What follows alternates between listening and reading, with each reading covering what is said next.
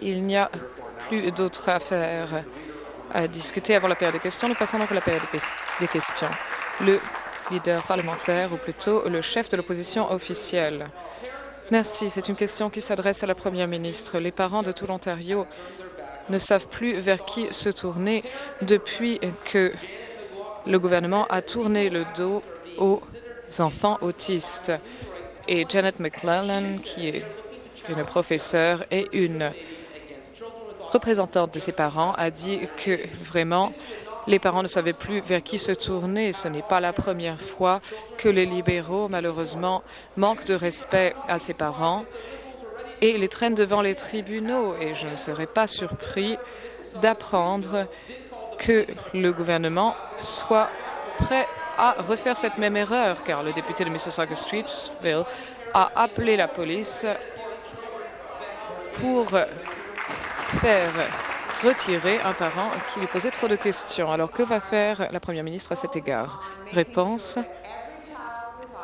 Alors, malheureusement, c'est une question mal intentionnée, mais j'aimerais quand même dire que nous nous efforçons de faire tout ce que nous pouvons, tout ce qui est dans notre pouvoir pour aider ces familles ainsi que ces enfants. Et il y a de nombreux enfants sur liste d'attente et c'est vraiment très surprenant de voir que le député d'en face pense que c'est une bonne chose que d'avoir des enfants qui languissent sur des listes d'attente et qui n'obtiennent pas de services. À l'ordre, s'il vous plaît. Je vais répéter mes instructions d'hier et il se peut que j'avertisse des gens tout comme hier. C'est votre choix. Nous comprenons très bien qu'il faut que chaque famille fasse l'objet d'une évaluation. Il faut qu'il y ait absolument un contact établi avec un fournisseur de soins. Il faut qu'il y ait une transition sans anicroche, que les parents comprennent bien ce processus de transition. Il faut absolument que les familles reçoivent les services dont elles ont besoin. Complémentaire. Ceci s'adresse à la Première ministre, encore une fois.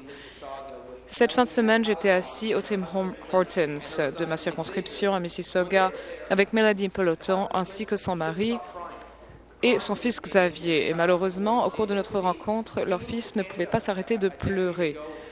Il y a à peu près dix ans que cette famille est au Canada et lorsqu'ils sont arrivés ici, ils pensaient vraiment que c'était une terre de promesses et qu'on s'occuperait d'eux dans ce pays. Mais ce qu'il m'a dit, malheureusement, et vous savez, le gouvernement peut chahuter tant qu'il veut, mais vous savez, il m'a dit que tout ce qu'il voulait, c'était que son représentant, son élu au niveau du gouvernement, lui dise quand ses services seraient disponibles pour son fils. Et le député responsable s'est excusé, mais la réalité, c'est qu'il ne s'est excusé que lorsque les médias ont eu vent de l'affaire. Donc, j'aimerais demander à la Première ministre quand est-ce qu'elle va s'excuser pour le comportement de ce député. Rasseyez-vous, s'il vous plaît. Rasseyez-vous.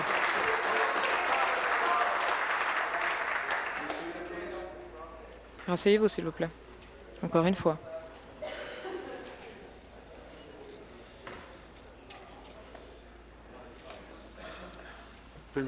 La Première ministre. Monsieur le Président, ce député s'est excusé et c'est inacceptable que d'entendre qu'un député refuse de rencontrer les parents de ses enfants.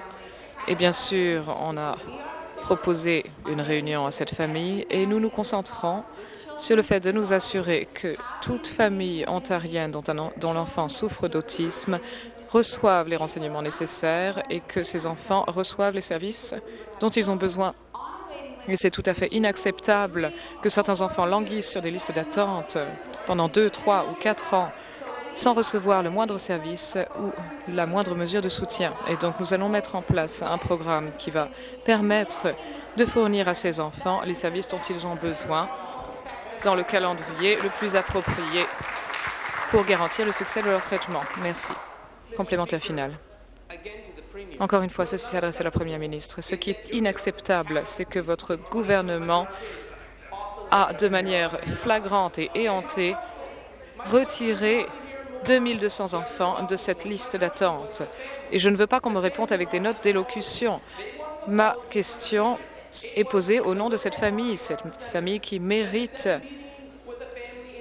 des excuses de la part d'un député qui malheureusement a refusé de rencontrer cette famille en larmes, qui a attendu pendant trois ans sur liste d'attente. Est-ce que la première ministre va s'excuser publiquement pour la conduite du député de Mississauga-Streetville? C'est absolument inacceptable qu'il ait appelé la police afin de faire retirer cette famille.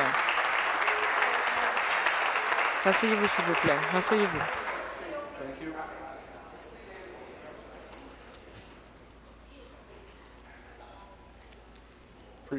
La Première ministre. Monsieur le Président, dans ce cas bien précis, le député s'est excusé.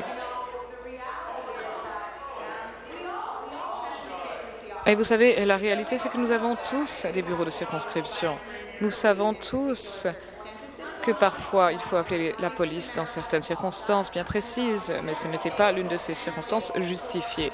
Et donc le député s'est excusé et a proposé d'autres dates des réunions à cette famille.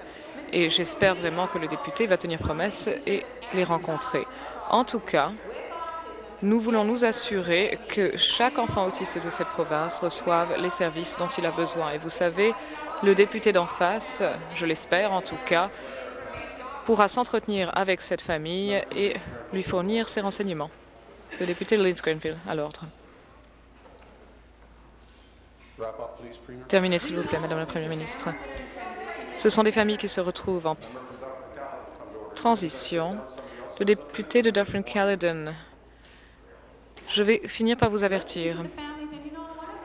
Et donc, il faut écouter ces familles. En ce qui concerne le financement direct, le député de Leeds Grenville, vous êtes averti. Nous sommes de plus en plus près. Veuillez terminer. Un des problèmes que les familles euh, ont mentionné, c'est le financement. Ils voulaient savoir s'il y aurait peut-être une possibilité d'avoir du financement direct. Ce 8 000 c'est un financement direct pour que les parents aient euh, plus de possibilités de choisir. Nous voulons bien faire les choses pour que chaque enfant reçoive les services dont ils ont besoin. Nouvelle question, le chef de l'opposition. Ma question est pour la première ministre. Premièrement, laissez-moi vous dire que je suis déçue que la première ministre ne veuille pas s'excuser à la famille par les pommes. Mais je vais parler de quelque chose d'autre. Intervention du président. Le leader parlementaire adjoint du gouvernement, vous êtes averti. Veuillez terminer. Depuis que nous savons que des ministres libéraux ont des soupers à 6 000 les gens se posent des questions. Ils veulent savoir combien d'argent ils devront donner aux libéraux pour changer une mesure législative. Le chiffre qui vient de sortir, c'est de 52 700 C'est exactement ce que Ticketmaster et sa compagnie mère a donné avant que le gouvernement change la loi sur les scalpeurs. Comment peut ce gouvernement renier ses politiques de, de paiement pour avoir accès? La première ministre. J'ai été très claire. La politique est décidée selon les données dans tous les secteurs. Cela n'a rien à voir. Le député de Renfrew Nipissing Pembroke, vous êtes averti. Vous m'avez demandé de faire cela, je le fais. Veuillez terminer. Les politiques n'ont rien à voir avec les levées de fonds que nous faisons. Le chef de l'opposition le sait très bien. Nous sommes en ce moment dans le processus euh, de faire des consultations pour aller voir le public, euh, avoir une conversation avec eux sur la façon dont nous devrions changer les règles de levée de fonds. Ce projet de loi se rendra en comité et j'ai hâte d'entendre ce que disent euh, ce que vont dire les gens partout dans la province sur, par exemple, la publicité des partis tierces, les règles qui devraient être en place concernant les dons aux partis politiques, pour tous les partis politiques. Complémentaire. Pour revenir à la première ministre, quand les changements ont été faits l'an dernier, John Kerry-Stamatis a dit que le gouvernement a plié sous la pression de compagnies comme Ticketmaster, par exemple. Mais, par exemple, ils ont donné 30 000 au Parti libéral. Maple Leaf Sports a donné 30 000 et Ticketmaster 52 000 Donc, c'est un total de 82 000 de ceux qui ont bénéficié de ces changements. Cela montre que la politique peut être achetée sous ce gouvernement. Si le gouvernement n'a rien à cacher, Monsieur le Président, pourquoi ne veulent-ils pas une commission d'enquête publique? Est-ce que le gouvernement va accepter notre demande pour une commission d'enquête publique? Veuillez vous asseoir, s'il vous plaît.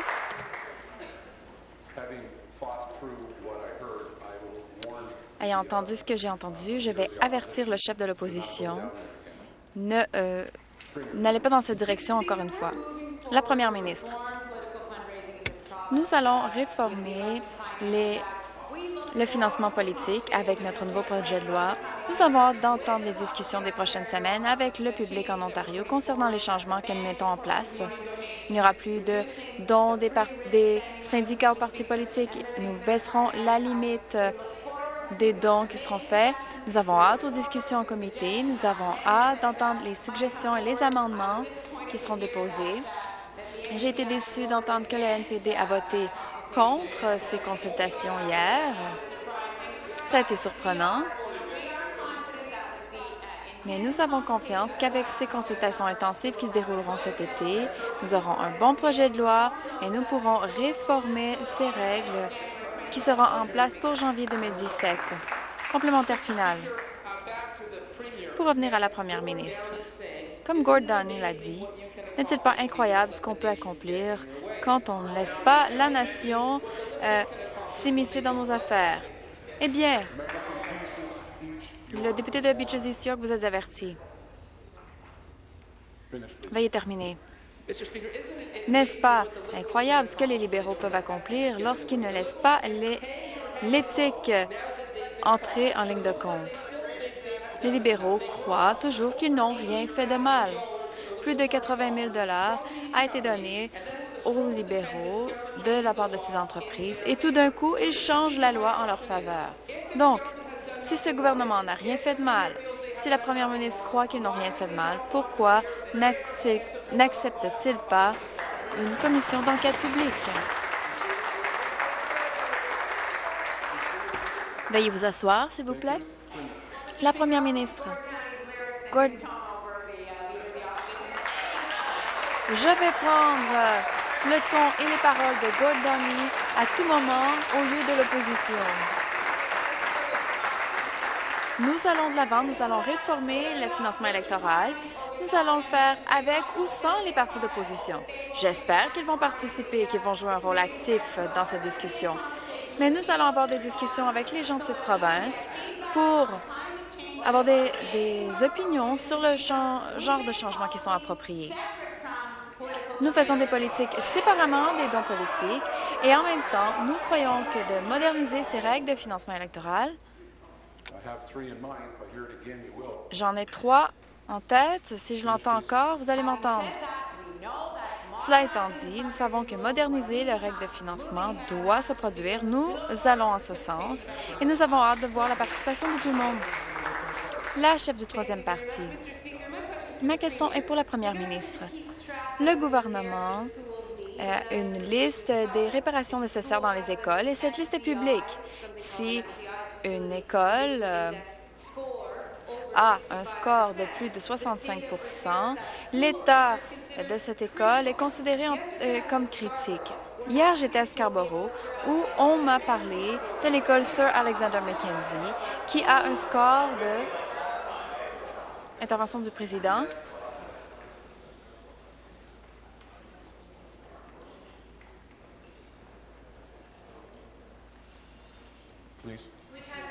Veuillez terminer. Elle a un score de 85% et l'école Sir William Osler, 84% Souvenez-vous, 65% est considéré comme un état critique. Ces écoles sont au-delà d'un état critique. Pourquoi est-ce que la première ministre a laissé les écoles de Scarborough dans un état euh, si critique de euh, réparation? La première ministre. Vous savez, l'importance de cet index de réparation, c'est que le conseil scolaire peut suivre l'état et les besoins des écoles. Il peut donc y avoir une bonne utilisation des dollars pour l'entretien quand ils sont nécessaires. C'est comme avec une municipalité. Quand ils ont un plan de gestion des actifs, il faut comprendre la condition des actifs pour que quand on fait, des investissements, ce doit faire de façon ordonnée, que ce ne soit pas au hasard, mais qu'en fait, ce soit fait d'une façon qui est responsable. C'est ce que fait cet index. Et je suis absolument heureuse de savoir que le Conseil scolaire de Toronto l'utilise encore, que les conseils en Ontario l'utilisent encore, pour que quand ils font des investissements dans ces écoles, ils le font de façon responsable. Complémentaire. Les gens s'attendent à ce que le gouvernement fasse les choses de façon appropriée. Il faut s'assurer que les écoles sont bien réparées. C'est quelque chose qui est de base. Les étudiants dans nos écoles ne devraient pas apporter des manteaux d'hiver pendant l'hiver quand ils sont dans leur salle de classe. Mais ce qu'on voit, c'est des écoles, non seulement à Scarborough, mais partout dans la province, qui sont euh, dans un état de délabrement. Pourquoi la première ministre ne peut pas faire les choses de façon appropriée? La ministre de l'Éducation. Merci. Comme euh, notre première ministre l'a dit, intervention du président. Veuillez terminer. Nous suivons euh, cet index de réparation pour les écoles pour avoir une commune mesure pour toutes les écoles de la province. Et nous reconnaissons qu'il y a des écoles plus anciennes qui ont besoin de financement. C'est pourquoi, en 2014, nous avons annoncé un investissement spécifique de 1,25 milliard de dollars sur une période de trois ans, spécifiquement pour la réparation des écoles qui ont un index élevé. Pour cette année, en 2016-2017, cet investissement sera de 500 millions de dollars, donc euh, la moitié d'un milliard de dollars que nous enlevons que nous envoyons plutôt au conseil scolaire. Et ce sera pour les écoles avec l'index le plus élevé. Complémentaire final.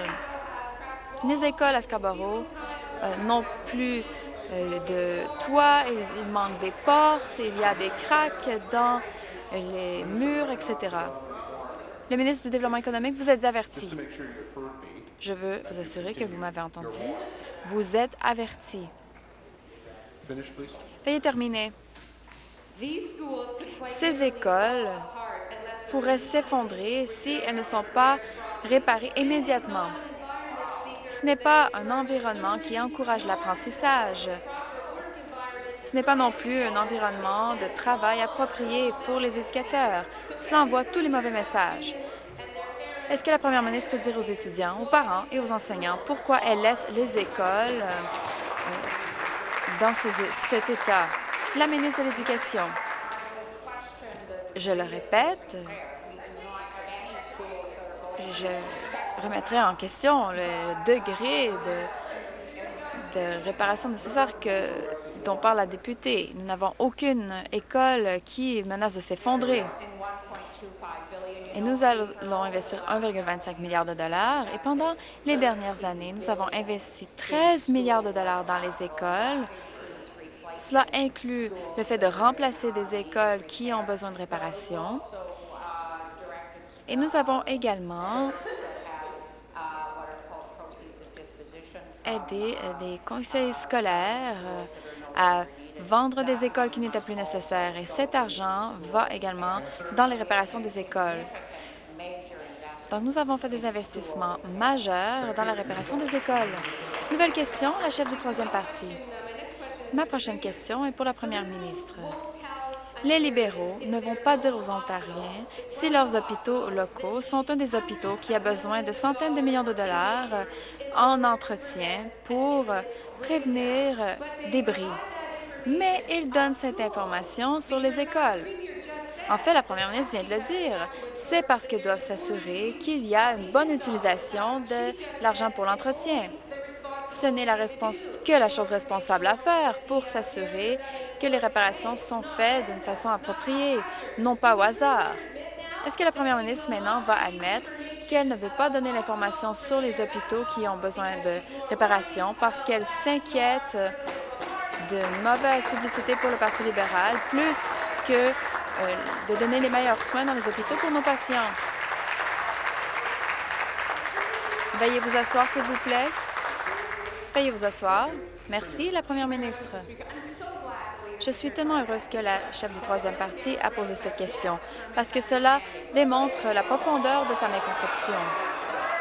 Le fait est que si elle examine l'index dans les conseils scolaires, elle verra qu'il n'y a aucun montant en dollars attaché au nom de l'école. Et c'est pour une très bonne raison.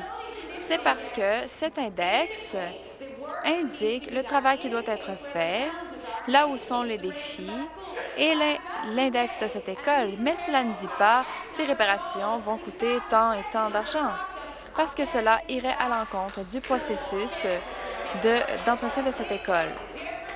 C'est un processus tout à fait différent des hôpitaux et cela démontre qu'elle ne comprend pas comment nous allons faire ces réparations dans les hôpitaux. C'est un processus différent et je crois que si elle regarde cet index, elle va comprendre pourquoi ils sont écrits de cette façon. Veuillez vous asseoir, s'il vous plaît. Veuillez vous asseoir.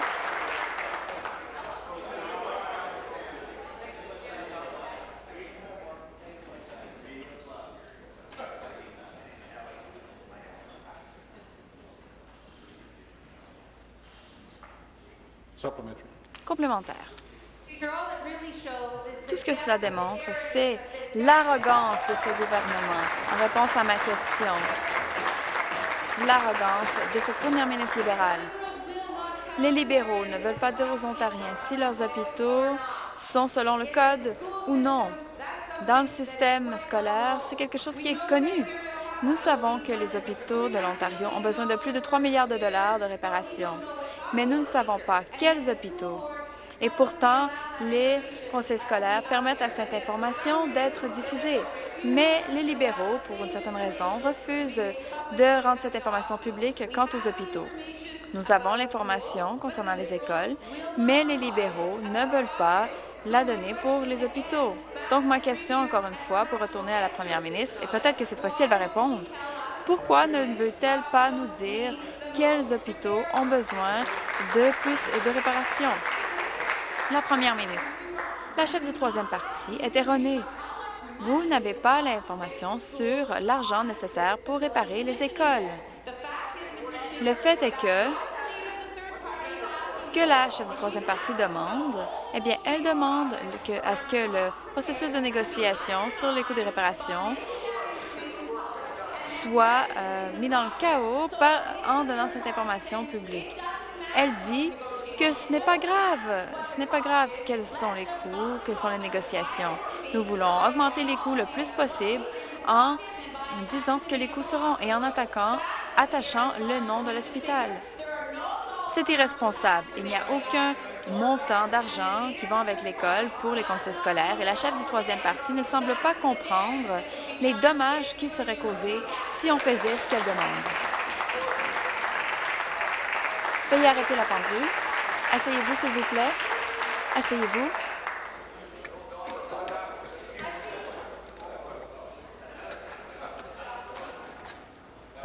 Complémentaire final. Je crois que le manque de compréhension dans cette Chambre reflète le manque de compréhension de la première ministre des mots ouverture et transparence. C'est ce que nous disons et c'est ce que dit le directeur de la responsabilité financière. Et cela démontre encore une fois que les libéraux refusent de donner de l'information publique au public. Le gouvernement n'effectue pas l'entretien et les réparations dans les hôpitaux. Et ce qui est encore pire, c'est qu'en réponse à notre demande d'accès à l'information, le gouvernement a admis qu'il n'avait aucun plan de s'occuper des besoins de réparation dans l'avenir. Cette liste d'attente de réparation ne va qu'augmenter. La situation dans les hôpitaux ne va qu'empirer. Nous l'avons vu. Nous voyons des salles d'urgence remplies, moins d'infirmières, moins de lits. Les gens peuvent voir la crise Tout le monde le voit ici dans la province, mais les libéraux font semblant que ça n'existe pas. Est-ce que la première ministre va arrêter de défendre son manque d'action et commencer à s'occuper de la crise dans notre système de soins de santé? Le ministre de la Santé. J'ai un toit euh, sur ma maison qui a des problèmes. Je vais devoir euh, le remplacer.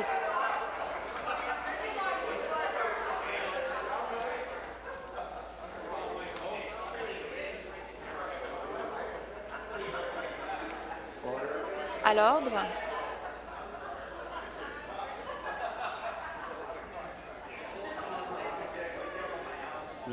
Le ministre.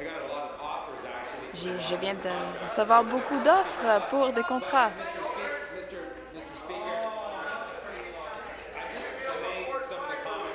C'est incroyable de voir les commentaires qui nous viennent de la chef du troisième parti. La réalité, c'est que je ne vais pas euh, rendre public le fait que je veux payer 10 000 pour un nouveau toit, par exemple. Je vais demander à différents fournisseurs de services euh, de me faire des offres et je vais voir euh, celui que je vais choisir, celui qui peut faire le meilleur travail. C'est ce que nous faisons également avec les hôpitaux. Nouvelle question, la députée de Thornhill. Ma question est pour la première ministre. Le mois dernier, lorsqu'elle était en Israël, la première ministre a affirmé l'opposition de son gouvernement euh, au mouvement de boycott. Elle a dit que cette position n'est pas sa position ou celle du gouvernement. Elle a dit « Je m'oppose à ce mouvement de boycott et d'investissement ». Mais en même temps, le gouvernement libéral a voté contre un projet de loi de ce parti qui aurait empêché de faire des affaires avec des, entreprises qui soutiennent ce mouvement. Ce mouvement veut démoniser des si, si, les entreprises voulaient démoniser une communauté LGBT, par exemple, le gouvernement serait contre. Mais quand cela se produit dans la communauté juive, c'est justifié en tant que liberté d'expression. Intervention du président. Veuillez arrêter la pendule.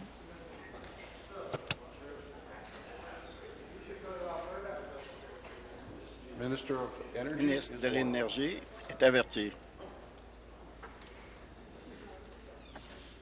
Uh, Veuillez conclure. Merci, Monsieur le Président. Pourquoi est-ce que le groupe parlementaire libéral, à l'exception d'un brave député, a refusé d'appuyer la collectivité, la communauté juive hébraïque? Je voudrais simplement dire ceci. C'était une occasion. J'ai été très honoreux d'aller en Israël. Et nous avons fait une déclaration et le manque d'appui pour le BDS, tout groupe, regroupement, initiative qui fait la promotion de l'antisémitisme, le racisme, islamophobie ou le ou homophobie, tout regroupement qui choisit de diviser ou encourager ce genre de haine, nous allons nous opposer. Et toutes nos politiques et tous les fibres de notre corps nous allons euh, nous opposer. Et ça demeure la position du Parti libéral et du gouvernement. C'était une occasion d'aller en Israël, de rencontrer les entreprises, les gens du secteur post-secondaire, nouer des partenariats en fonction d'une économie sur euh, la connaissance et de, liens qui remontent à des, plusieurs décennies. Intervention du président. Veuillez vous asseoir. Veuillez vous asseoir. Je m'excuse, député. Ma question s'adresse à la première. Vous vous êtes opposé au PDF. Vous êtes opposé au projet de loi. Vous, vous vous êtes opposé à une solution pour limiter l'antisémitisme.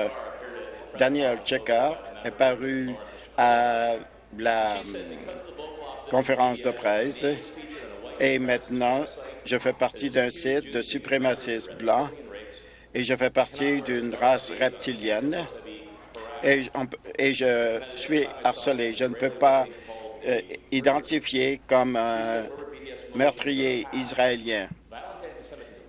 Et finalement, c'était une motion sur l'antisémitisme et avec un contrat avec une entreprise qui, qui est le propriétaire, que ce soit euh, de confession musulmane, que ce soit une entreprise faite ce que doit faire un bon premier ministre. Et M. Cameron et M. Obama et lutter contre l'antisémitisme. Veuillez vous asseoir. Intervention du président. Merci. Premier ministre, voici ma suggestion. Je fais une déclaration en Israël parce que que, que ce soit tout groupement, tout mouvement, initiative qui appuie l'antisémitisme, l'islamophobie, le racisme, et pour moi, cela me touche, quel que soit le mouvement. Et ma suggestion à la Chambre, si on peut élaborer une motion qui n'est pas divisible, qui divise, qui n'est pas unifiée, qui, qui est non partisane, si on peut trouver ensemble, et je l'ai fait, et j'ai tenu, j'ai fait un engagement lors de ma mission que nous allions trouver une façon d'avoir une motion qui va refléter l'inclusivité de tous les membres de cette Assemblée. J'espère que nous allons le faire au cours des prochaines semaines. Nouvelle question. Député de Kenora, Rainy Rivers, à la première ministre, les gens de Grassy Marrow se sont fait dire depuis 1970 que le poisson est contaminé à cause de la teneur en mercure dans les rivières et les cours d'eau. Ils ont demandé au gouvernement de corriger le problème. Un rapport publié tôt cette semaine qu'on peut corriger la situation et que le, le poisson peut être sécuritaire. Un grand nombre des jeunes qui ont voyagé, qui se sont déplacés depuis sur 1700 kilomètres. Voulez-vous dire aux gens qui sont derrière que leur rivière sera euh, nettoyée pendant leur vie? Monsieur le Président, je sais que le ministre responsable des Affaires autochtones va vouloir ajouter son point de vue. Je voudrais dire que à tous les jeunes qui sont venus de Grassy Marrows, c'est une préoccupation de mon gouvernement et de notre groupe parlementaire. Je suis allé à Grassy Meadows. J'ai rencontré les gens qui ont été affectés par euh, le mercure dans l'eau et le poisson. Je veux que nous puissions utiliser de la science pour qu'on puisse euh, nettoyer les sédiments ou l'eau et que cet habitat aquatique soit nettoyé. Nous avons un rapport qui suggère qu'on puisse le faire. Mais le premier élément du rapport, il faut se pencher sur des études de terrain. Il n'est pas tout à fait clair comment on peut le faire sans euh, perturber les sédiments dans l'eau. C'est la question auquel on doit répondre. Mais je ne veux pas euh, empirer la situation. Je veux simplement la corriger. Complémentaire, merci. Lundi, on lui a demandé qu'elle n'avait pas lu le rapport.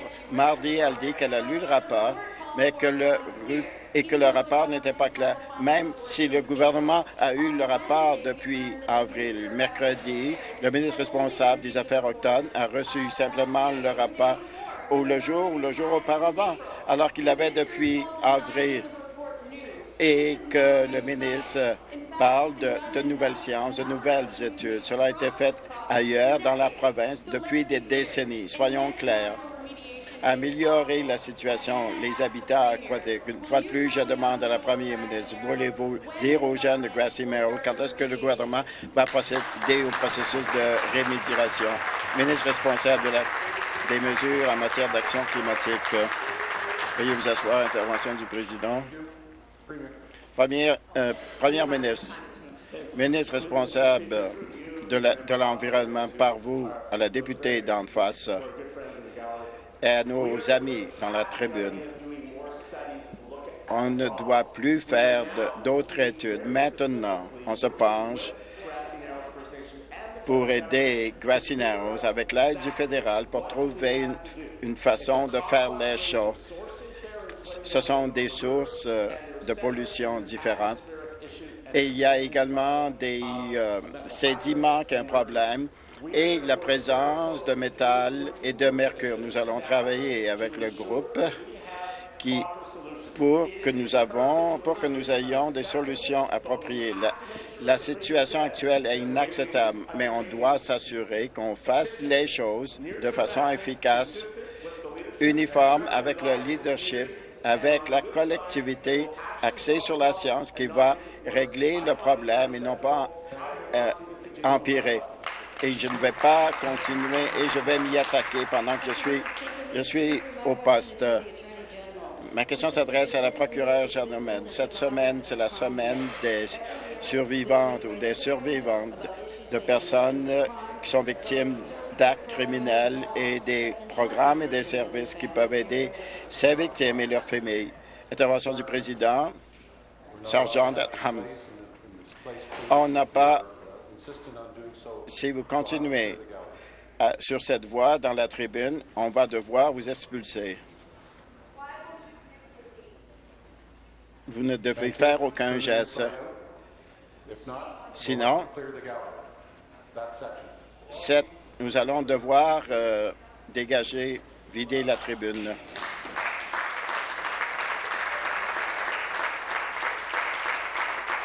Nous allons devoir demander aux gens de la tribune de quitter.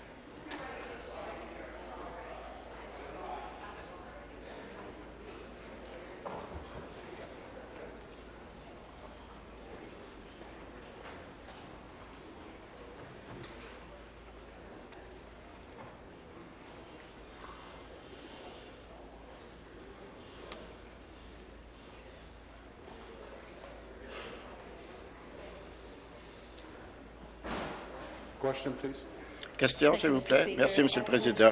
Comme je l'ai mentionné, c'est la semaine des survivants et des survivantes, des personnes victimes d'actes criminels. Et certaines personnes aident ces survivants. Et ces personnes ont même, fait, ont même été victimes d'actes criminels. Aujourd'hui, nous sommes honorés d'avoir les récipiendaires, y compris Michel Barclay, c'était euh, un héros qui a travaillé pour aider les autres. Est-ce que la procureure générale peut parler davantage de ce programme pour améliorer les services aux victimes? Et sensibiliser la population concernant les, enjeux auxquels vont faire face les victimes d'actes criminels? Procureur général. Je voudrais remercier la députée de Halton de cette question importante. notre gouvernement s'engage à augmenter l'efficacité des services à l'échelle de la province. Un pas pour atteindre cet objectif, c'est nous voulons nous assurer que les agences locales tirent des enseignements des services de certaines personnes et organismes. Je voudrais reconnaître la force et le courage des victimes et de leurs familles. Euh, je voudrais également reconnaître les bénévoles, les professionnels, les organismes pour leurs efforts inlassants envers ces victimes d'actes criminels. Ce matin, j'étais très fier de rencontrer tous les récipiendaires. Merci pour être ici, d'être venu aujourd'hui. Merci pour ce que vous faites au nom des survivants d'actes criminels. C'était très émouvant d'entendre le travail que ces personnes font dans les collectivités locales complémentaires. Merci, Monsieur le Président. Merci à la procureure générale. Malheureux que, les récipiendaires ne sont plus dans la tribune. J'ai entendu qu'il y avait une, semaine pour inclure les survivants les survivants, parce qu'on croit que les survivants ont été victimes de crimes. Ils ont été en mesure de survivre, de guérir et de se rétablir. Voilà pourquoi Michel a été honoré pour 13 ans de dévouement et de compassion qui lui ont permis d'être reconnu par ses, ses pairs. Merci, Michel. Merci à tous ceux qui aident les survivants et les survivantes d'actes criminels. Grâce à l'événement de cette semaine qui a été très émouvant, on dit non aux injustices, aux indignités vécues par les victimes d'actes criminels et je suis fier que notre gouvernement a mis en place des initiatives comme les programmes. Vous-t-elle parler des services qui sont, qui sont, dispensés, qui sont dispensés auprès des victimes d'actes criminels? Lorsque nous sommes venus au pouvoir en 2003, il y avait que 13 millions de dollars. Maintenant, a doublé depuis que je suis au ministère à plus de 67 millions de dollars. Je suis très fier du programme que ce n'est jamais acceptable contre le harcèlement sexuel et l'abus sexuel, ainsi que nos efforts au nom des victimes d'actes criminels, au nom de la ruralité ontarienne et des, Autochtones et d'autres. Cependant, ce sont les organismes, les personnes qui consacrent des efforts inlassants pour aider les victimes d'actes criminels, le cas échéant. Je l'ai dit ce matin et je le répète. Les récipiendaires qui sont ici avec nous sont des modèles pour nous tous. Je veux les remercier de tout le travail qu'ils font dans nos communautés. Merci, Monsieur le Président. Merci. Your question, the member from Renfrew, Nipissing, Pembroke. Thank you, Speaker. My question is député de Renfrew, Nipissing, Pembroke, que la commission de l'Ontario de l'Ontario va cacher le prix, euh, le coût du gaz naturel dans la facture d'électricité et va les utiliser comme, comme frais de transport et que la commission de l'Ontario ne veut pas expliquer pourquoi la facture recommande et que le gouvernement cache euh, les dommages aux familles. Le ministre a dit que la Commission de l'énergie de l'Ontario va protéger les consommateurs. Comment cela se fait-il? Si la Commission a dit ne devrait pas être au courant de l'impact du programme de plafonnement et de chambre sur le coût du gaz naturel. Merci. Monsieur le Président, je ne suis pas sûr. Je ne suis pas au courant du document. Je voudrais y jeter un coup d'œil, mais la Commission de l'énergie de l'Ontario a bien desservi de l'Ontario au cours des dernières décennies. C'est un organisme indépendant. Il représente les intérêts des consommateurs. Ils tiennent des audiences sur l'augmentation des prix et parfois ils les ignorent ou les diminuent. Nous sommes très fiers du travail qu'elle fait. Je ne sais pas à quoi ils renvoient mais ils ne font pas normalement les choses pour lesquelles on les accuse. Je vais me pencher sur le dossier. J'ai beaucoup de difficultés à croire que la Commission de l'énergie de l'Ontario fera partie de ce, de ce problème complémentaire.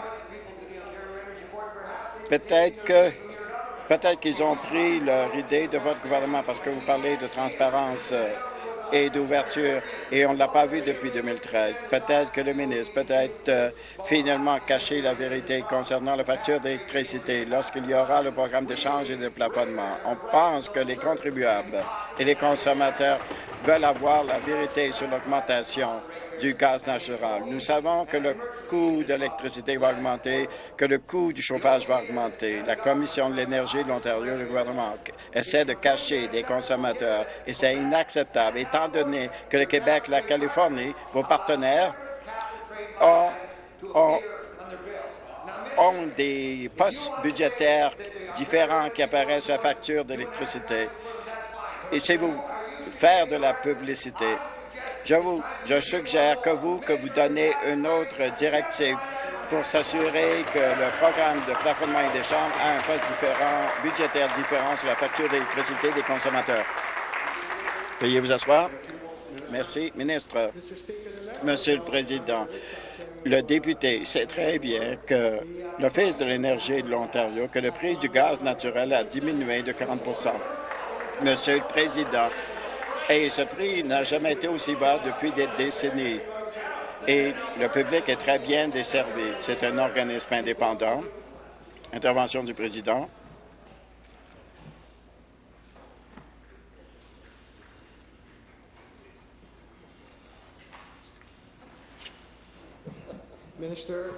Ministre, en tant que ministre, j'ai tout à fait confiance en l'Office de l'énergie de l'Ontario pour représenter les intérêts des Ontariens.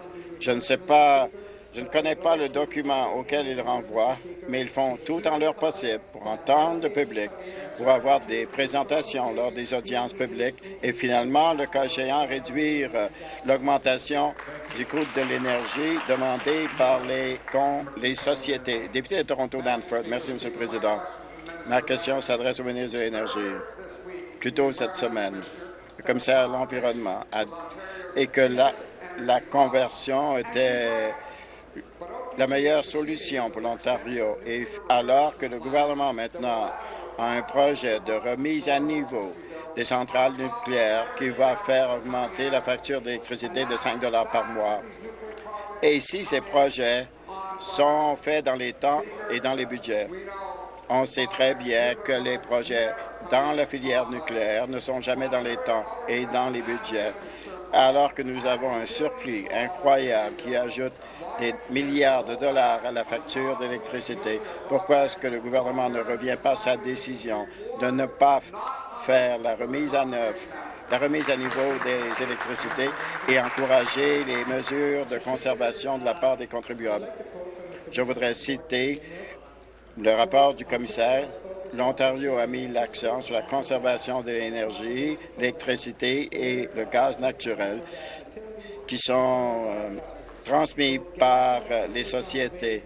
Et les programmes de conservation ont été, se sont avérés économiques et que les investissements à cet égard ont été logiques. C'est une citation du commissaire à l'environnement. Le député sait que les prévisions qui ont été validés par des tiers indiquent que le coût de l'électricité de la filière nucléaire après la remise en œuvre des centrales sera à 7,4 cents le kilowatt-heure. C'est vraiment une bonne transaction pour le public. Question complémentaire. Il faut noter que la conservation coûte beaucoup moins que cela. La conservation a fonctionné, a bien fonctionné en Ontario. Nous utilisons moins d'électricité pour en faire davantage. Mais en Ontario, quand on en euh, utilise moins, on paie davantage parce que le gouvernement continue de signer de nouveaux contrats pour plus d'électricité dont nous n'avons pas besoin. Les Ontariens et Ontariennes doivent payer pour cette électricité qu'on l'utilise ou non. L'Ontario a un surplus d'électricité qui est beaucoup plus élevé que la production de Pickering. Au lieu de faire augmenter nos factures d'électricité encore davantage, pourquoi le ministre ne permettrait-il pas de permettre au programme de conservation de réduire l'utilisation de l'énergie et faire baisser nos factures d'électricité comme il se doit? Le ministre, euh, une citation du euh, commissaire de l'Environnement, les programmes de conservation de gaz et d'électricité se sont avérés toujours efficaces sur le plan des coûts lorsqu'on les a mesurés par la suite. Il s'agit d'une évaluation indépendante de notre programme euh, de conservation. Le député ne mentionne pas que 60% de notre production euh, vient du nucléaire. Si on prend des prévisions en avenir, ce sera seulement 50% et c'est euh, sans émission à 100% Nous sommes sur la bonne voie et je n'accepte pas ces critiques. Nouvelle question, député de, Centre. J'ai une question pour le ministre de la Santé et des Soins de longue durée. Au mois de décembre, vous avez rendu public une proposition pour euh, faire des, donner des soins de santé axés sur les patients. On a demandé aux Ontariens et Ontariennes de donner leur rétroaction là-dessus. Et j'ai fait une consultation justement à l'église de Humber Valley là-dessus. On a eu beaucoup de bons commentaires. Des milliers d'Ontariens et Ontariennes ont répondu. Ils ont dit plusieurs choses. Ils ont dit, entre autres, qu'ils voulaient un système axé sur les besoins du malade et qui représente les besoins uniques de tous les Ontariens et Ontariennes. Euh, les soins à domicile, soins primaires doivent être rationalisés et euh, il faut de l'équité. On a beaucoup parlé de l'équité aux soins de santé. ministre, voulez-vous dire au gouvernement ce que vous avez l'intention de faire pour mettre les Patient d'abord. Euh, monsieur le ministre, merci beaucoup et je voudrais reconnaître beaucoup de gens dans euh, la tribune qui euh, sont ici avec nous aujourd'hui. Je vais présenter ce projet de loi plus tard aujourd'hui qui va mettre les patients au cœur du réseau. Et ce projet de loi donnera aux Airlist, mettra les Airlist au cœur du système afin de donner des services de première ligne aux patients. Avec ces euh, modifications proposées, euh, l'accès sera plus facile et plus équitable. Il y aura une meilleure coordination et continuité des soins. Euh, on va travailler sur les déterminants de la santé et on va, sur, on va travailler avec les Autochtones pour créer un processus parallèle et améliorer les euh, soins de santé aux Autochtones. Merci, dit le député. Merci, Monsieur le ministre. À Etobicoke Centre, nous avons un grand nombre d'aînés. Vous parlez de tous les gens de tout, tout âge, mais nos aînés vont beaucoup apprécier ce que vous venez de dire. Notre gouvernement a travaillé très fort pour mettre les malades au cœur du système. Et si j'ai bien compris, ces changements vont augmenter l'efficacité et permettre un financement euh, d'être accordé aux patients. Euh, je suis heureux d'entendre que le gouvernement va respecter son engagement de travailler avec nos partenaires autochtones. Monsieur le ministre, voulez-vous nous donner une mise à jour à propos de ce projet de loi sur les euh, malades? Nous avons l'intention d'élargir l'accès aux soins à domicile et nous assurer que tous les gens de l'Ontario aient accès à leur médecin, un médecin de famille. Et ce projet de loi propose un système plus intégré qui améliore l'accès aux patients qui ont besoin de trouver un fournisseur de santé de soins primaires près de chez eux. Ça va féliciter la planification des soins de santé pour s'assurer que les patients reçoivent plus euh, d'accès aux soins. Euh, on va établir euh, des rapports officiels entre les AirLIS et les commissions de santé ou et on va s'assurer d'écouter la voix des familles et on va s'assurer que tout le système soit axé sur le patient. J'ai une question pour euh, le ministre des Enfants et des services aux, euh, les, services aux jeunes et aux enfants. la ministre a dit que euh, les ABA et ABA sont la même chose. Mais j'ai votre gestionnaire en matière d'autisme dit qu'on a des défis. les le système ABA n'est peut-être pas assez et est-ce que euh, le ministre se trompe euh, ou la ministre se trompe en disant que l'IBA et l'ABA soient la même chose. Je crois ce que j'ai dit, Monsieur le Président, c'est que la différence c'est l'intensité, c'est le facteur clé lorsqu'on veut répondre aux besoins d'un enfant autiste. Et c'est pour cela beaucoup de fournisseurs de services euh, ont eu des centaines de réunions avec les familles pour parler des besoins des enfants autistes à l'avenir pour euh, faire un plan de transition et pour permettre aux familles qui ne sont plus sur les listes d'attente IBI d'être au courant de leur euh, du, euh, financement qui existe pour eux. Alors oui, Monsieur le, euh, le Président, il y a un programme, un programme, un seul point d'entrée, ce sera plus individualisé et on va aider ces enfants à l'avenir. Madame la ministre, plus vous tenez euh, de réunions, plus il y a de confusion, il y a moins il y a d'enfants qui reçoivent des services. Les, parents comprennent que l'IBI et l'analyse comportementale appliquée ne sont pas la même chose. Même votre gestionnaire euh, euh, pour les enfants autistes comprennent que c'est pas la même chose. Comment est-ce, euh, quand est-ce que votre ministère va faire en sorte, euh, va cesser d'empêcher les enfants de recevoir la thérapie EBI? Madame la ministre, je dirais, et je pense que mes collègues diraient, que plus on rencontre les familles, plus ça, aide. Et c'est la rétroaction qu'on a reçue. quand les députés euh, tous les partis ont besoin d'informations. Nous sommes là pour vous aider. Les fournisseurs de services sont là, les services de liaison sont là pour aider. Parce que, en fin de compte, euh, un avis au député de Dufferin-Caledon.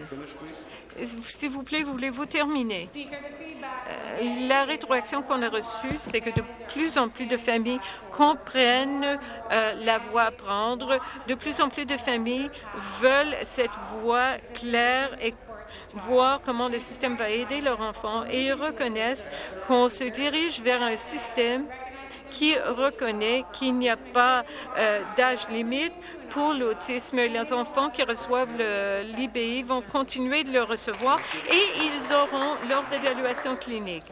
Euh, député d'Essex, j'ai une question au ministre des Transports. Malheureusement, avant la, longue fin de semaine, nous avons vu un accident impliquant plusieurs véhicules et tuant une personne. C'est la deuxième tragédie qui a eu lieu euh, au même endroit sur l'autoroute 3 qui a besoin d'être élargie. C'est le deuxième accident en un mois. Ce n'est plus une coïncidence, c'est un patron. Le rapport même du ministère euh, demande l'élargissement de cette tronçon étant donné le volume de circulation qui a augmenté depuis ce temps-là de 30 Alors, Malgré les données, les pétitions, les motions, les lettres de toutes les municipalités euh, qui demandent au gouvernement de respecter sa promesse, le ministre des Transports refuse d'agir.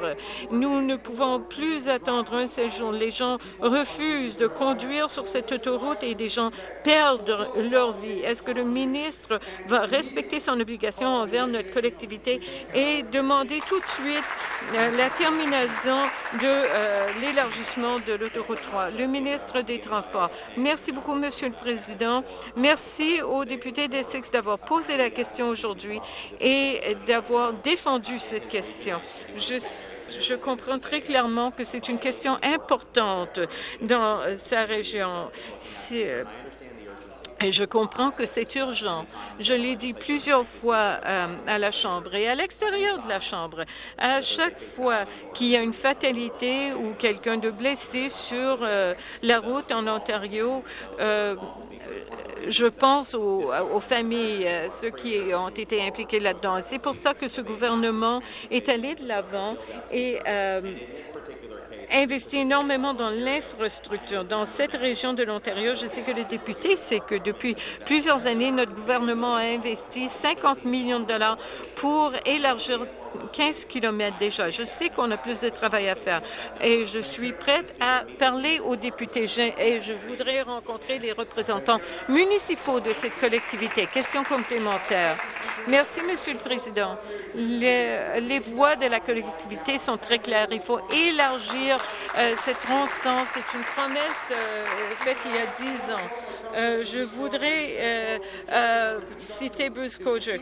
Il a dit l'objectif, c'est d'augmenter la sécurité de cette autoroute de 33 kilomètres. Si la sécurité, c'était la priorité à ce moment-là, c'est encore la priorité aujourd'hui. Cette route porte le nom de Bruce Crozier parce qu'il a fait tant d'efforts pour faire élargir cette partie de l'autoroute. Bruce Crozier euh, respectait ses promesses et, pour Bruce, Bruce faisait ce qu'il disait qu'il allait faire. Et s'il était ici aujourd'hui, quelqu'un qui a travaillé pour lui euh, a dit qu'il serait dégoûté de voir euh, ce qui se passe. Alors, il faut respecter la promesse de Bruce. Asseyez-vous, s'il vous plaît. Asseyez-vous. Merci, le ministre. Merci beaucoup euh, aux députés d'avoir posé cette question-là. J'ai eu l'occasion, avant d'être député, d'avoir travaillé ici euh, comme membre du personnel. Je connaissais très bien M. Crozier. C'était et je comprends, je comprends profondément l'importance de ce que Bruce Crozier a fait. Nous avons pu élargir ces 13 kilomètres à cause du travail de ce député. Et j'ai dit dans ma première réponse que je serais prête à continuer la discussion avec ce député et avec les chefs, les leaders municipaux de sa région. En ce qui concerne cette priorité, je comprends, mais qu'il s'agisse de cette région d'Essex ou ailleurs dans la province, on investit des milliards de dollars dans des autoroutes partout dans la province. On va continuer de le faire aussi. Nouvelle question. Euh, la députée de Davenport. Merci beaucoup, Monsieur le Président. J'ai une question au ministre du Développement économique, de l'Emploi et de l'Infrastructure. Euh, bienvenue de retour.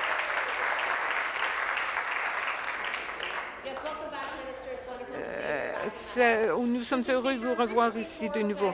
Dernièrement, la revue Forbes a dit que les organisations qui cherchent un avantage concurrentiel ont accepté la diversité et qu'on essaie d'engager des personnes handicapées. Ce matin, j'ai eu le plaisir de, euh, parler à une conférence organisée par le Centre des arts Creative Spirit à Davenport, qui a beaucoup travaillé sur les obstacles auxquels font face des artistes handicapés, surtout en matière d'emploi. Ce rapport de Forbes nous rappelle durant la semaine de l'accessibilité euh, qui durera jusqu'au 6 juin de pouvoir parler de ce que fait la province pour améliorer les possibilités d'emploi pour les personnes handicapées.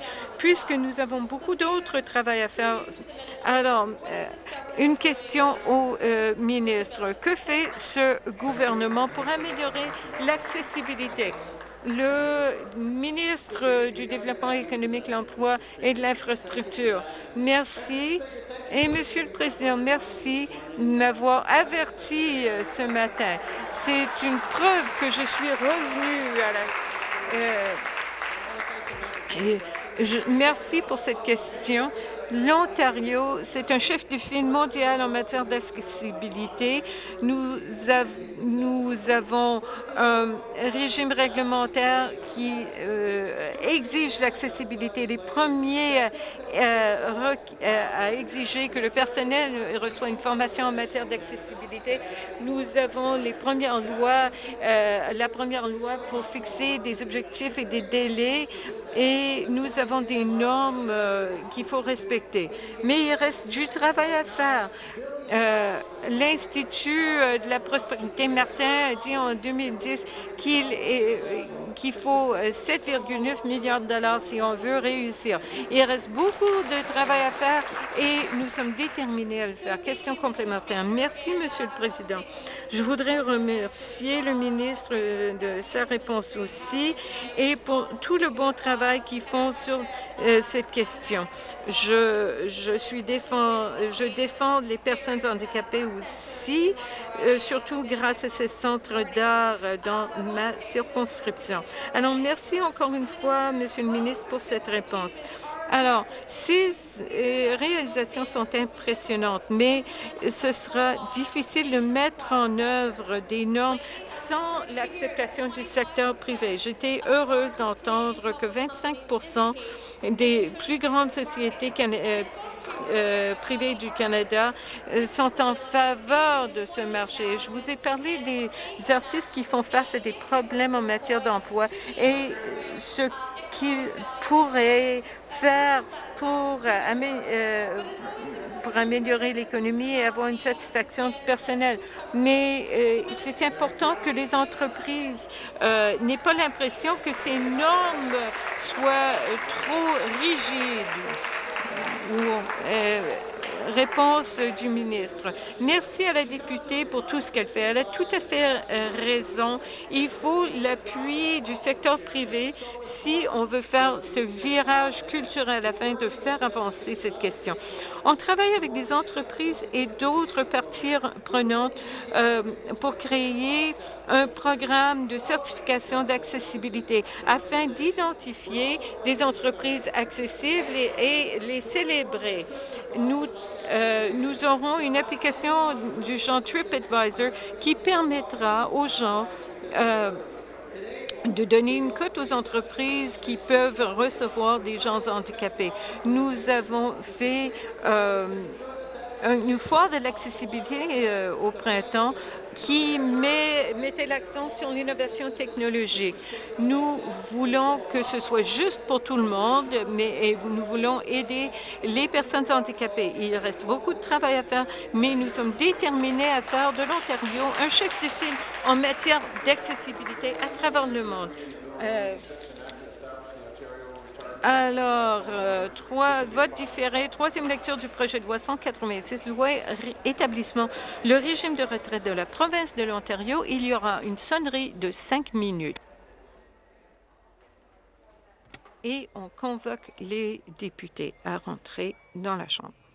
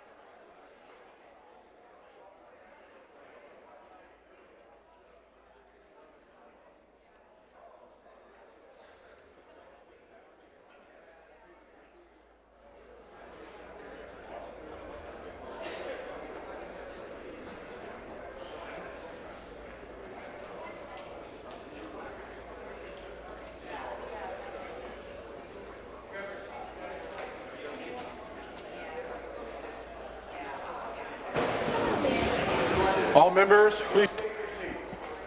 Veuillez euh, regagner vos, euh, vos places, tous les députés. Tous les députés, regagnez vos places.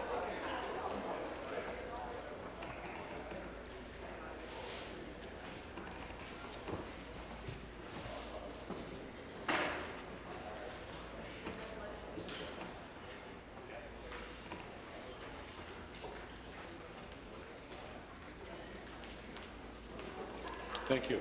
Merci.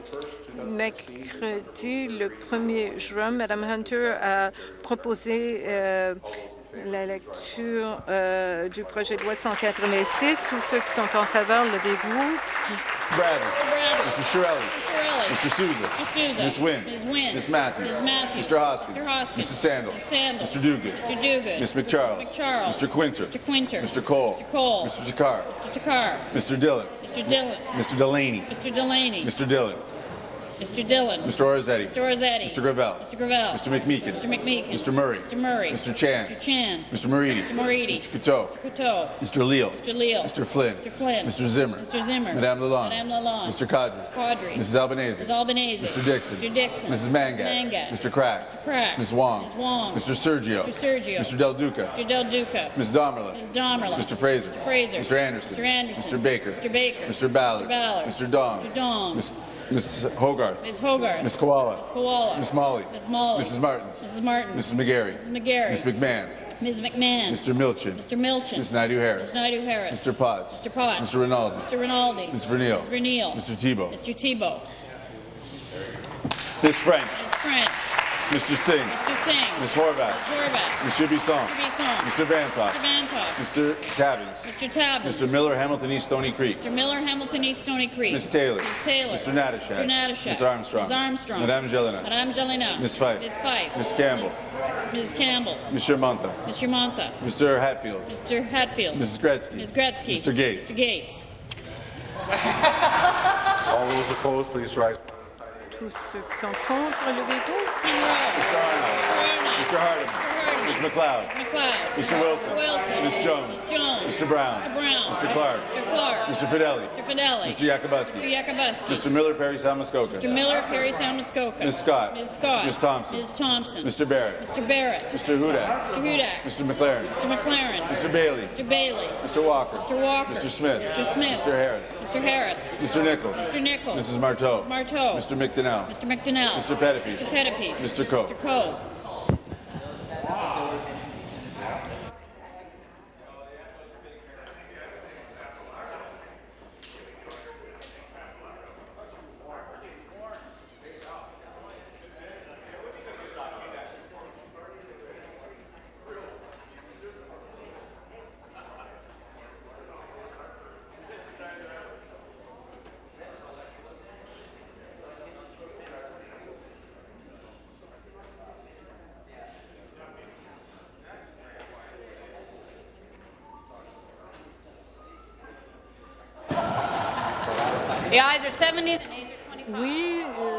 70, non 25. Pour 70, contre 25. Les pour étant 70, les contre 25, je déclare que la motion est adoptée. Troisième lecture du projet de loi. Il est résolu que euh, le projet de loi soit adopté et qu'il porte le titre qui se trouve dans la motion. Nous avons un vote différé pour la motion de clôture pour la lecture du projet de loi 100, euh, 135, loi modifiant plusieurs lois et abrogeant plusieurs règlements en ce qui concerne la conservation de l'énergie et de la planification énergétique à long terme. On convoque les députés. Il y aura une sonnerie de cinq minutes.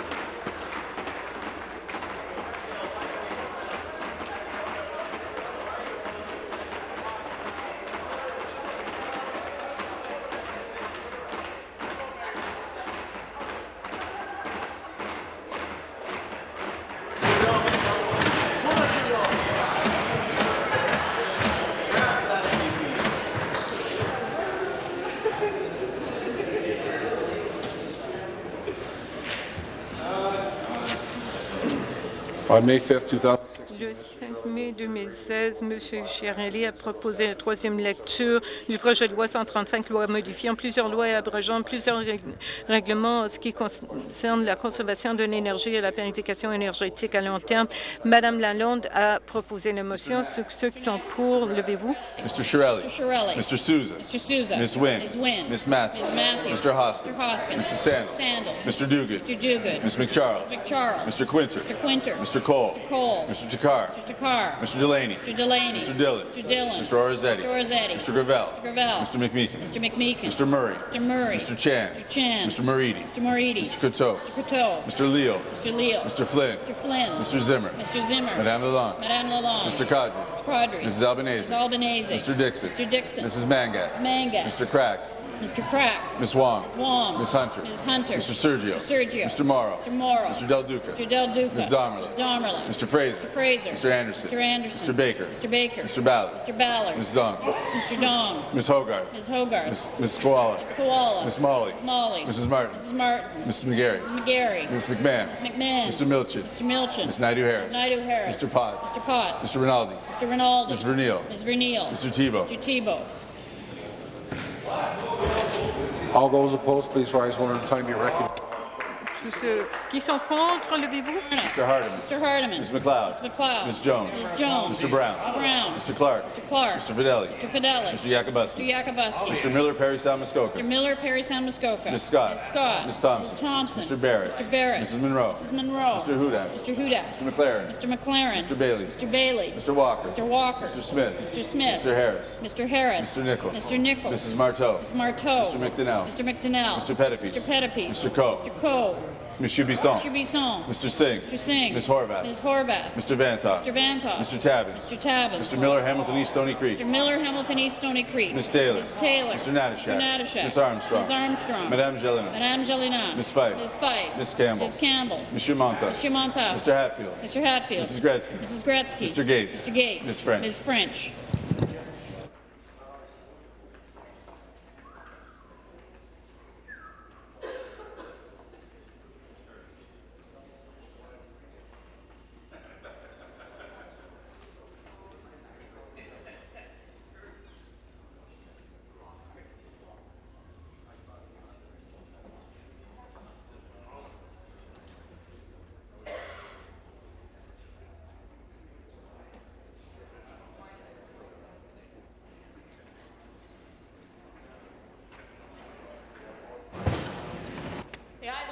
Are 54, the Les nays are pour 42. 54, les euh, contre 42.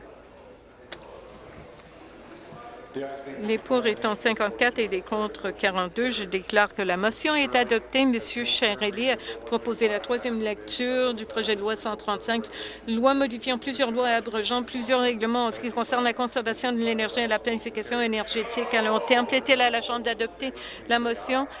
Tous ceux qui sont pour, dites oui, contre, non. À mon avis, les oui l'emportent. Euh, convoquer les députés et il y aura une sonnerie de cinq minutes.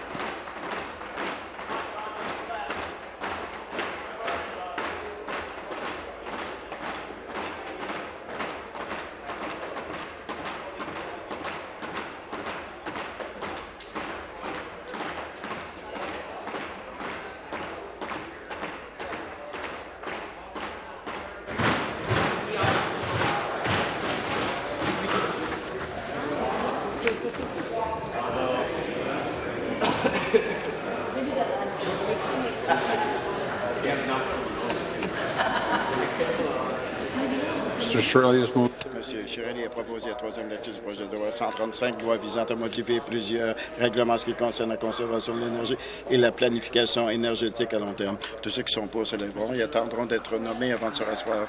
Mr. Bradley. Mr. Bradley. Mr. Souza. Mr. Souza. Ms. Wynne. Ms. Wynne. Ms. Matthews. Ms. Matthews. Mr. Hoskins. Mr. Hoskins. Mrs. Sandals. Ms. Sandals. Mr. Duguid. Mr. Duguid. Ms. McCharles. Ms. McCharles. Mr. Quinter. Mr. Quinter. Mr. Cole. Mr. Cole. Mr. Takar. Mr. Takar. Mr. Delaney. Mr. Delaney. Mr. Dillon. Mr. Dillon. Mr. Orizzetti. Mr. Orizzetti. Mr. Gravel. Mr. Gravel. Mr. McMeekin. Mr. McMeekin. Mr. Murray. Mr. Murray. Mr. Chan. Mr. Chan. Mr. Coteau. Mr. Mr. Coteau. Mr. Moridi. Mr. Couteau, Mr. Couteau. Mr. Leo, Mr. Leal. Mr. Flynn, Mr. Flynn. Mr. Zimmer, Mr. Zimmer. Madame Lalonde, Madame Lalonde. Mr. Cadre, Mr. Cadre. Mrs. Albanese, Mrs. Albanese. Mr. Dixon, Mr. Dixon. Mrs. Mangat, Mrs. Mangat. Mr. Crack, Crack. Ms. Wong, Ms. Wong. Ms. Hunter, Ms. Hunter. Mr. Sergio, Mr. Sergio. Mr. Morrow, Mr. Morrow. Mr. Del Duca, Mr. Del Duca. Ms. Domerlin, Ms. Domerlin. Mr. Fraser, Mr. Fraser. Mr. Anderson, Mr. Anderson. Mr. Baker, Mr. Baker. Mr. Ballard, Mr. Ballard. Mr. Don, Mr. Don. Ms. Hogarth, Ms. Hogarth. Ms. Koala, Ms. Koala. Ms. Molly, Ms. Molly. Mrs. Martin, Mrs. Martin. Mrs. McGarry, Mrs. McGarry. Ms. McMahon, Ms. McMahon. Mr. Milchin, Mr. Milchin. Ms. Naidu Harris, Ms. Naidu Harris. Mr. Potts, Mr. Potts. Mr. Rinaldi, Mr. Rinaldi. Mr. Neal. Mr. Neal. Mr. Tebow. Mr. Tebow.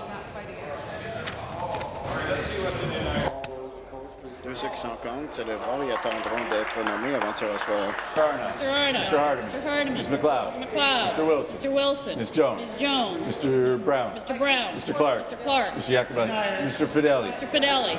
Mr. Miller, Perry Sound Muskoka. Mr. Miller, Perry Sound, Muskoka. Ms. Scott, Ms. Scott. Ms. Thompson, Ms. Thompson. Mr. Barrett, Mr. Barrett. Mrs. Monroe, Mrs. Monroe. Mr. Hudak, Mr. Hudak. Mr. McLaren, Mr. McLaren. Mr. Bailey, Mr. Bailey. Mr. Walker, Mr. Walker. Mr. Smith, Mr. Smith. Mr. Harris, Mr. Harris. Mr. Nichols, Mr. Nichols. Mrs. Marteau, Mr. Marteau. Mr. McDonnell, Mr. McDonnell. Mr. Pettipies, Mr. Pettipies. Mr. Coe, Mr. Coe. Mr. Tabbins, Mr. Tabbins. Mr. Singh, Mr. Singh. Ms. Horvath, Ms. Horvath. Ms. Shibisong, Ms. Shibisong. Mr. Vantoff, Mr. Vantoff. Mr. Miller, Hamilton East Stony Creek, Miller, Hamilton East, Stony Creek. Ms. Taylor, Ms. Taylor. Mr. Natashak, Mr. Natashak. Ms. Armstrong, Ms. Armstrong. Madame Jelena, Madame Jelena. Ms. Fife, Ms. Fife. Ms. Campbell, Ms. Campbell. Mr. Monta, Mr. Monta. Mr. Hatfield, Mr. Hatfield. Mrs. Gretzky, Mrs. Gretzky. Mr. Gates, Mr. Gates. Ms. French. Ms. French.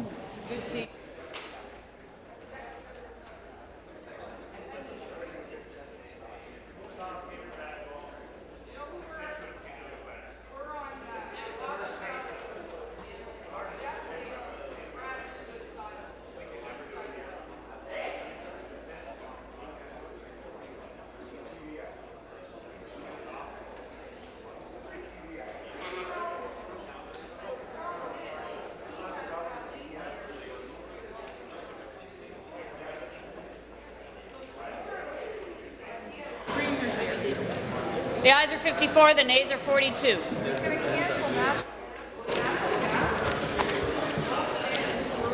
The ayes being 54 and the nays being 42, I declare the motion carried. Third reading of the bill, troisième lecture, projet de loi. Be it resolved that the bill do now pass and entitle as in the motion. There are no further deferred votes. This House stands recessed until 1 p.m. this afternoon.